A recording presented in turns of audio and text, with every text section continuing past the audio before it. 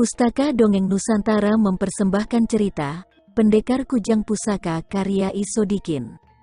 Sahabat Pustaka Dongeng Nusantara yang berbahagia, pada kesempatan yang baik ini kita masuk pada episode yang ke-52. Selamat mendengarkan.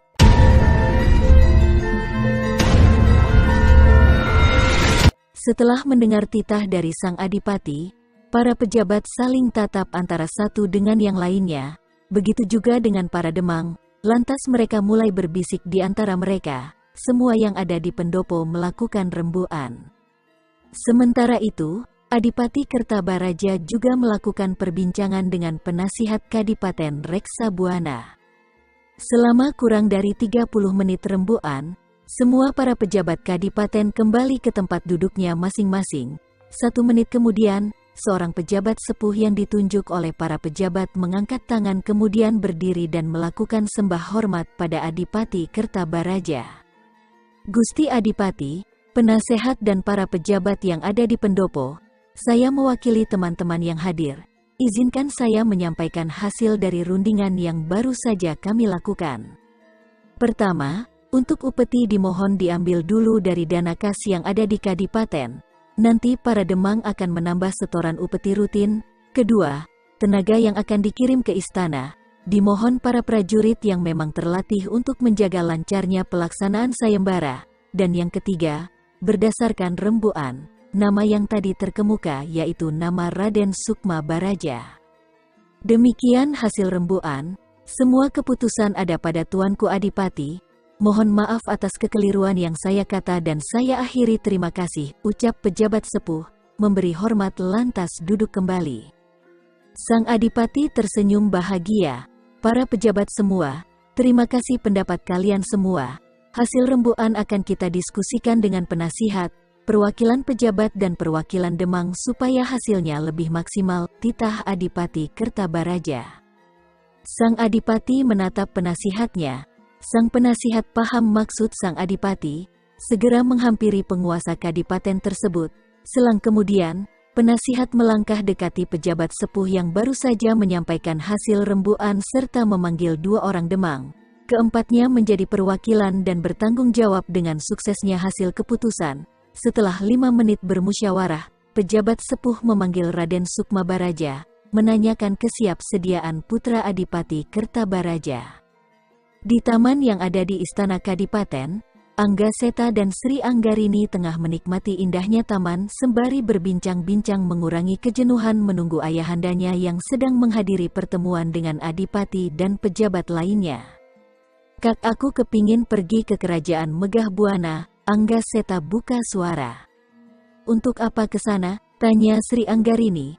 Saya ingin menyaksikan serunya sayembara pemilihan Senopati Muda, kata Angga Seta.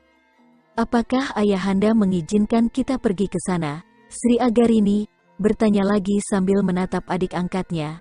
Dilihat dari raut muka sang adik benar-benar ingin memenuhi keinginannya. Ayahanda bakal mengizinkan kalau kakak ikut pergi juga ke kerajaan Megah Buana, bujuk Raden Anggaseta. Maaf Den, Aden dipanggil Tuan Demang, seorang pengawal menghampiri Raden Anggaseta dan Sri Anggarini yang masih menikmati indahnya taman. Di mana ayahanda menunggu? Tanya Raden Anggaseta. Di kereta dan jawab pengawal. Keduanya langsung menuju kereta kuda. Tidak butuh waktu lama. Keduanya sudah sampai kereta. Mereka langsung menaiki kereta dan duduk bersebelahan. Ki Demang sudah menunggu keduanya. Selang kemudian, kereta kuda bergerak meninggalkan pendopo Kadipaten Reksabuana, tidak berapa lama keluar gerbang istana. Selama di perjalanan pulang, Angga Seta melirik pada Sri Agarini. Ayo kak, bilang sama ayahanda, kalau kita mau pergi ke kerajaan Megah Buana. Bisik Angga Seta, penuh harap kakak angkatnya itu mau mewakili dirinya untuk bicara pada Ki Demang Angga Jaya. Ehem, ada apa bisik-bisik mau rahasia-rahasiaan ya?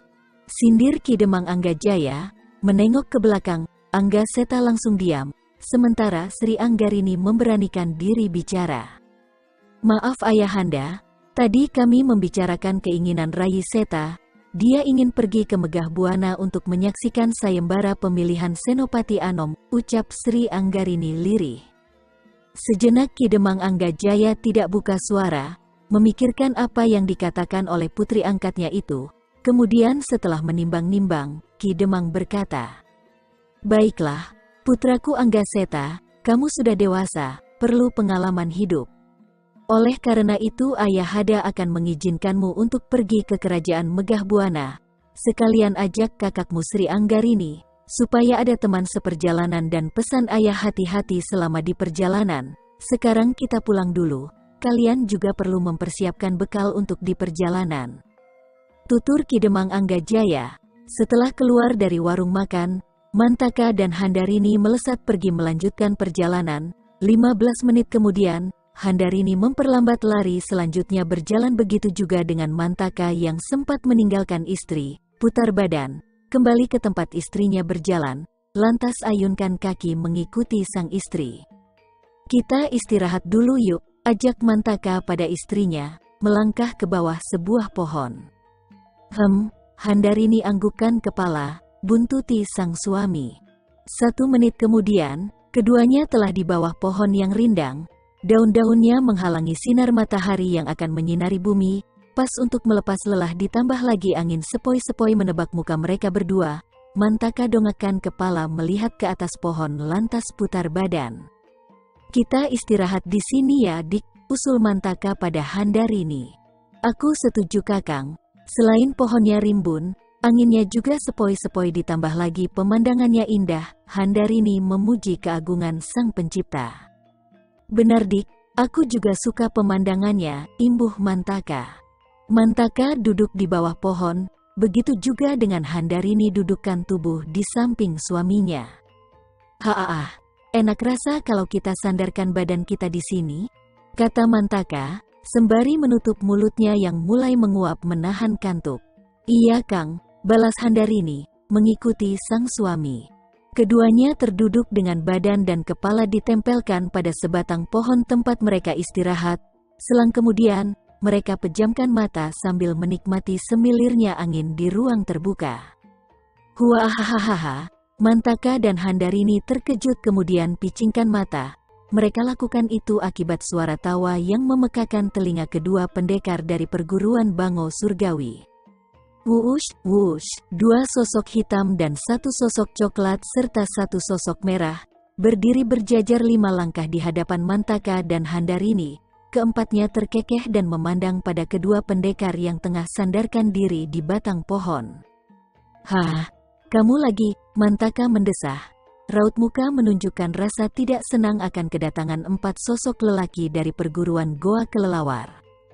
Mereka ini sengaja cari masalah, gumam Mantaka, segera beranjak dari duduknya untuk mengantisipasi apa yang akan empat sosok tersebut lakukan. Setali tiga uang, Handarini juga berdiri dampingi sang suami. Durja maju satu langkah dengan senyumnya yang menjijikkan. Terima kasih kalian telah menyambutku, terutama untuk calon istriku tersayang, Cemooh ketua perguruan Goa Kelelawar memandang Handarini dengan penuh hasrat lantas melanjutkan langkah. Satu langkah lagi berada di dekat Handarini, tangan Durja berusaha mencolek pipi istri dari Mantaka. Refleks Handarini menepis tangan Durja yang akan menyentuh pipinya. Cic, jauhkan tangan kotormu dari diriku, maki Handarini. Dicabutnya pedang dari sarung yang ada di punggungnya lantas dihunuskan untuk memaksa Durja mundur. Akan tetapi bukan langsung mundur. Ketua perguruan Goa Kelelawar malah semakin mendekat dan kembali mengangkat tangan kanannya untuk menyentuh dagu perempuan yang berdiri di hadapannya. Sontak, Handarini geserkan badan ke samping kanan dengan pedang menebas tangan Jahil Durja. Beruntung dengan cepat Durja menarik tangannya lanjut melompat mundur dua langkah menjauh dari perempuan incarannya. Ciaat sementara itu, Mantaka yang sedari tadi terdiam langsung cabut pedang dari warangkanya lantas melompat memburu Durja yang baru mendaratkan kedua kaki. Pedang Mantaka yang berkilau terkena sinar sang surya siap menebas kepala Durja. Sontak Durja terperanjat, diangkatnya sarung pedang miliknya melintang di atas kepala. Brak, pedang Mantaka tertahan oleh sarung pedang milik Durja. dengan begitu selamat kepala Durja dari tebasan pedang Mantaka. Selain pedang yang mengancam kepala Durja, kaki kanan Mantaka pun layangkan tendangan ke dada sang ketua perguruan Goa Kelelawar. Buk, tubuh Durja surut ke belakang kena dorongan tenaga yang dialirkan lewat kaki pendekar dari Bango Surgawi, tangan Durja mengelus dada yang baru saja dihadiahkan tendangan oleh Mantaka, bibir Durja mengeluarkan kalimat keluhan. Kurang ajar, beraninya kamu menendang dadaku, keluh Durja. Dipegangnya dada yang nyeri dengan cepat pasang kuda-kuda. Sekarang dia tidak ingin meremehkan lawannya. Belum terkatup bicara dari mulut Durja, Mantaka tusukan pedang sambil teriak. Bangau pemburu mangsa, tubuh melayang beberapa meter ke atas. Selang kemudian, meluncur turun 45 derajat dengan tubuhnya berputar cepat bagaikan mata bor yang akan menusuk sasarannya. Terang, terang, pedang milik Mantaka berkali-kali membabat pedang Durja yang balik menyerang. Pedang Mantaka menyentuh tanah lantas tubuhnya kembali terbang mundur. Tidak berapa lama, mendarat di atas tanah. Sementara itu, Durja kembali mundur dengan pedang yang terarah ke lawan.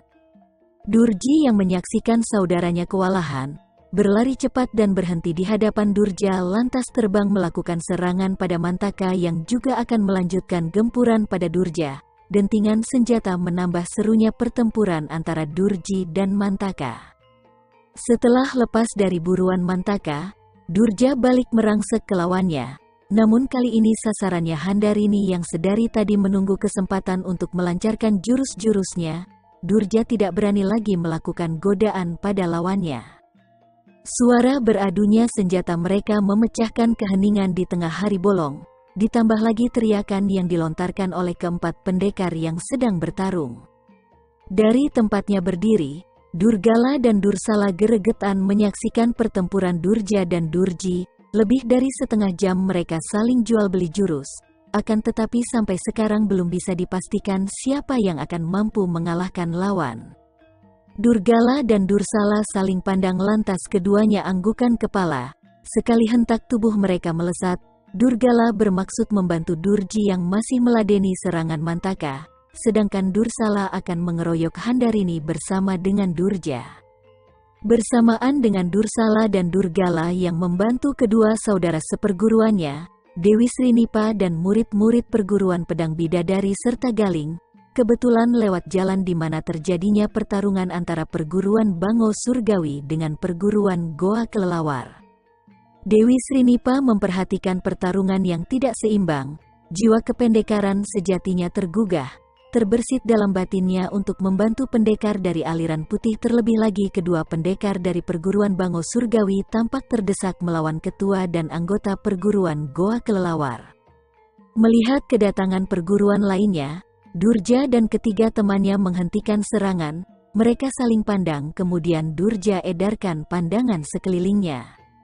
Untuk kali ini, aku biarkan kamu lolos, namun tunggu perhitunganku di sayembara, pada saat itu kalian semua akan tahu siapa kami. Gerutu Durja, kemudian memberi isyarat pada ketiga saudara seperguruan, dengan cepat keempat pendekar dari perguruan Goa Kelelawar langsung pergi meninggalkan Handarini dan Mantaka. Dewi Srinipa disusul para murid dari pedang bidadari serta galing hampiri Mantaka dan Handarini yang tersenyum bahagia melihat kedatangan para bidadari. Kedua pendekar dari perguruan Bangau Surgawi memberi salam hormat kepada Dewi Srinipa dan lainnya yang telah membantunya. Terima kasih, kami haturkan pada guru dan teman-teman semua. Kata Mantaka, terima kasih kembali. Sudah sepatutnya kita saling membantu, karena saya dan kita semua tahu semenjak di warung makan tadi, saya lihat mereka memang cari masalah, jawab Dewi Srinipa sembari memandang pada Handarini yang bungkukan badan. Kalau guru tidak keberatan, bagaimana jika kita jalan bersama-sama menuju kerajaan Megah Buana? Maaf apakah guru juga akan ikut sayembara pemilihan Senopati Anom? Selisik Mantaka, awalnya tidak.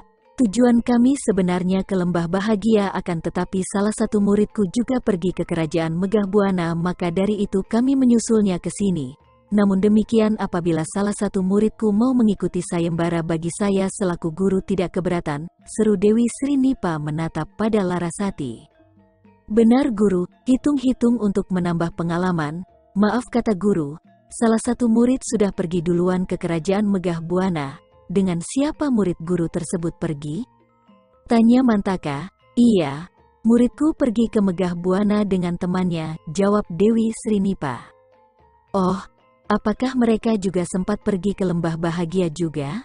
Tanya Mantaka lagi, setahu saya begitu, kami keluar dari perguruan hanya untuk melihat indahnya lembah Buana di malam hari, membuktikan cerita orang-orang kembali sang ketua dari perguruan pedang bidadari memberi penjelasan.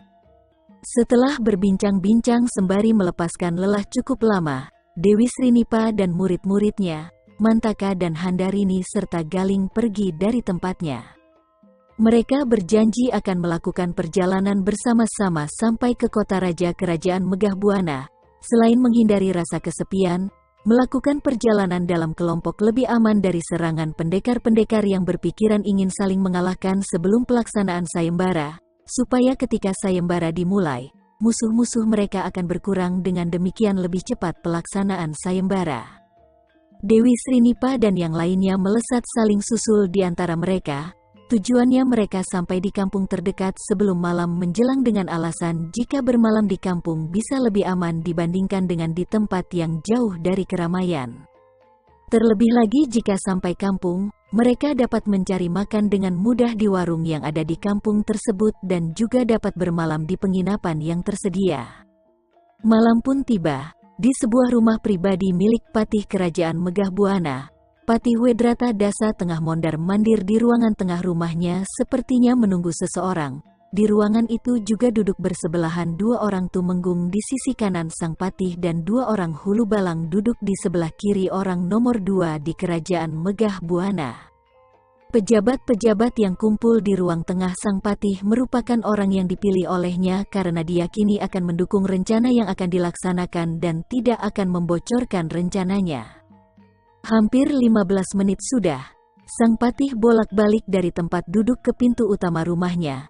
Orang yang ditunggu belum datang juga. Akhirnya sang patih kembali dudukan tubuh di kursinya. Ke mana Senopati Wiguna? Apakah prajurit suruhanku belum sampai? Gumam sang patih, raut mukanya tunjukkan kecemasan. Temenggung Wiratya Dasa yang merupakan adik sang patih dari satu ayah lain ibu buka suara. Kakang Patih sampai kapan kita menunggu Senopati Wiguna? Apakah tidak lebih baik jika kita mulai saja rembukan kita? Nanti kalau Senopati datang, kita langsung saja minta dia ikut rencana kita. Usul Tumenggung Wiratya, untuk sesaat Sang Patih termangu, kemudian memandang pada semua yang hadir di rumahnya.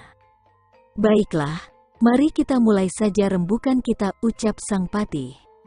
Saya setuju Kakang, sekarang apa tujuan Kakang mengajak kita rembukan? Tanya Tumenggung Wiratya. Satu minggu lagi pelaksanaan sayembara akan dimulai.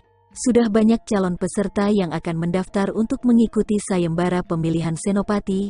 Maksud saya, bagaimana jika sebelum hari pelaksanaan sayembara, kita adakan penyisihan terlebih dahulu di luar istana? Sang Patih membuka rembukan mereka.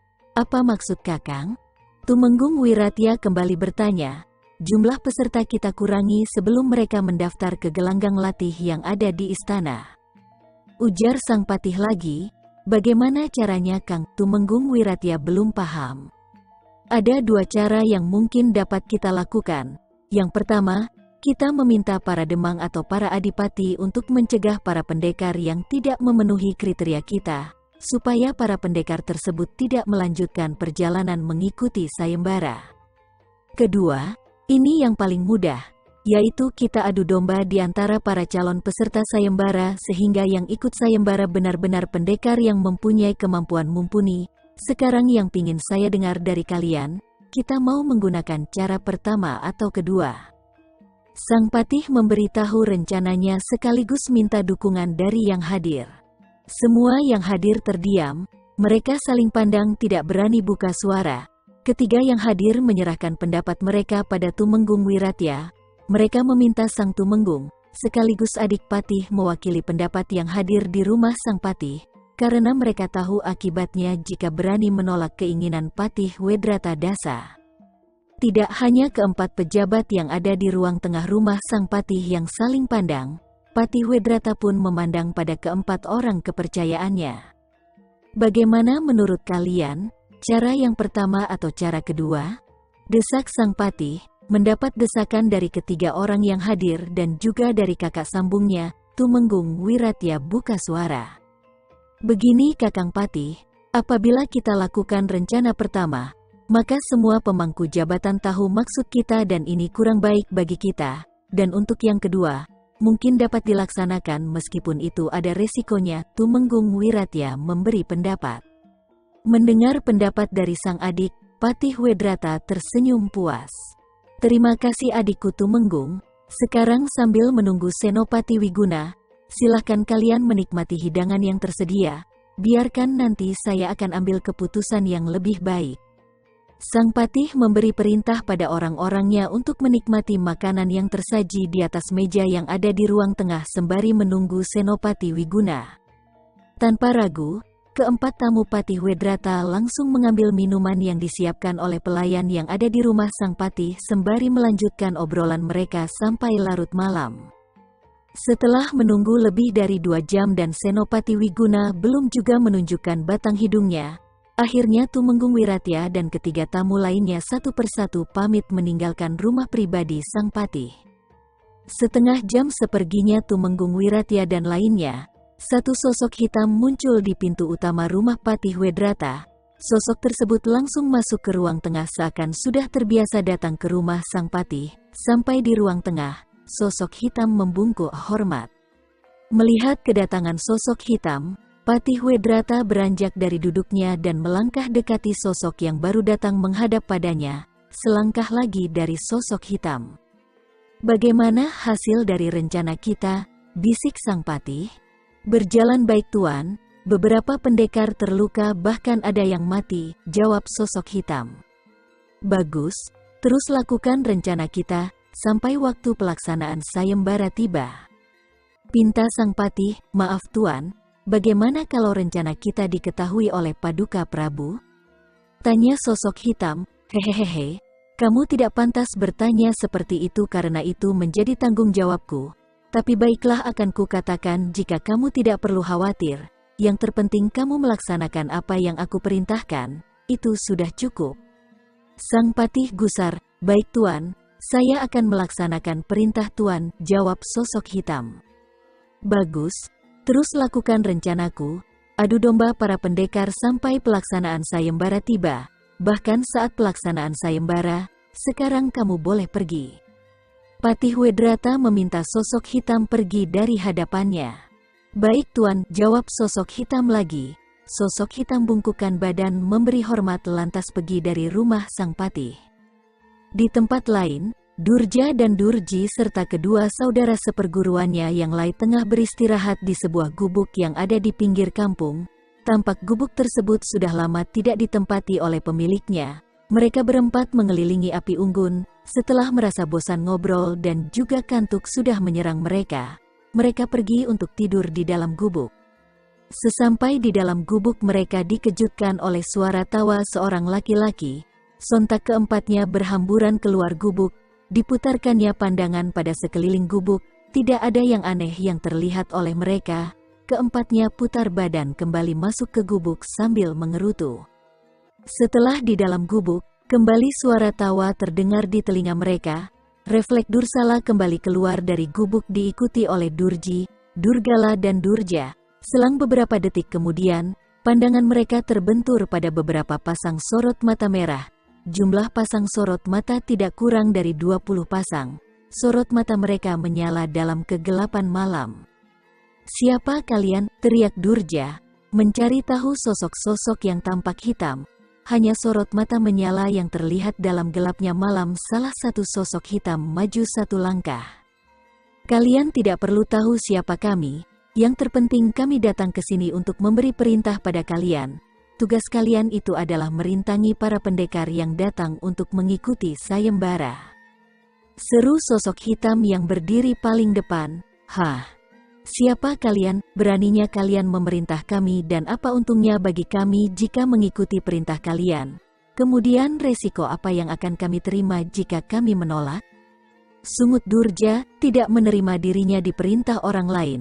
Sudah kukatakan kalian tidak perlu tahu siapa kami. Apabila kalian melakukan yang kami perintahkan, maka kalian mempunyai lebih banyak kesempatan untuk menjadi Senopati Anom. Tapi jika kalian tidak mau melakukan perintah kami, maka nyawa kalian yang menjadi taruhannya. Sosok hitam menuntut lawan bicara untuk melakukan kemauannya. Sahabat Pustaka Dongeng Nusantara demikian tadi, cerita pendekar Kujang Pusaka karya Isodikin. Bagaimana kelanjutan kisahnya? Ikuti terus ceritanya pada episode selanjutnya. Sampai jumpa.